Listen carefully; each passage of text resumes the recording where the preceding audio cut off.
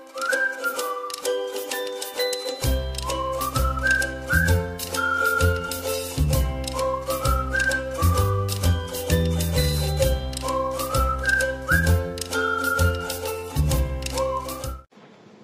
नमस्ते सत श्रीकाल सलाम एवरीवन। कैसे हैं आप लोग? आई जस्ट होप ठीक होंगे और नए वीडियो में आपका स्वागत है। सो so, आज मैं आपको लेकर आई हूँ पटना के बोरिंग रोड में कार्ड पे जिस कार्ड का नाम है Best Bite in Town.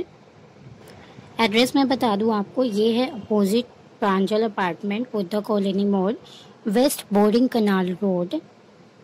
और यहाँ पे हम कुछ आज ट्राई करने वाले हैं नया। और नए में क्या है वो आप आगे वीडियो में देखें।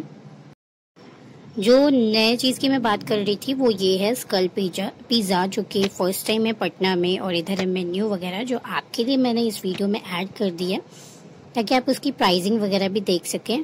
प्राइसिंग मुझे बहुत अच्छी लगी अफोर्डेबल प्राइस है स्टूडेंट अफोर्ड कर सकते हैं।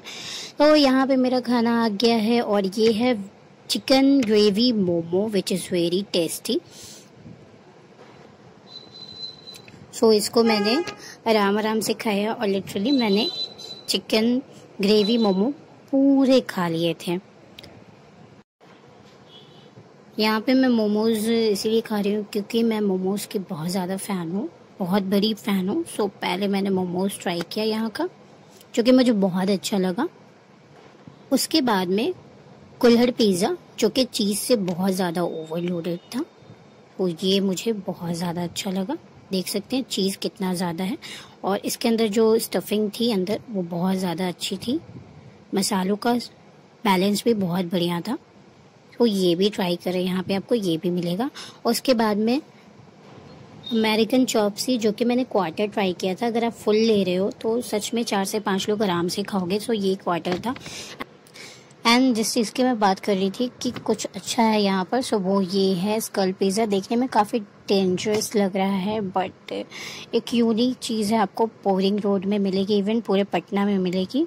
तो खोपड़ी शेप का ये पिज़्ज़ा है।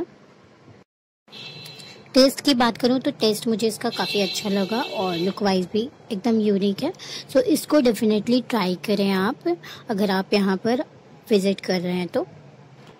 इसका टेस्ट बिल्कुल पिज़्ज़ा के जैसा आएगा अंदर से चीज़ वगैरह सब निकलेगा। सो so, वीडियो कैसी लगी लाइक कमेंट करके बताएँ एंड चैनल को सब्सक्राइब करें। बेल आइकन पर क्लिक करें ताकि मेरे आने वाली नई नई वीडियोस की नोटिफिकेशन मिलती रहे।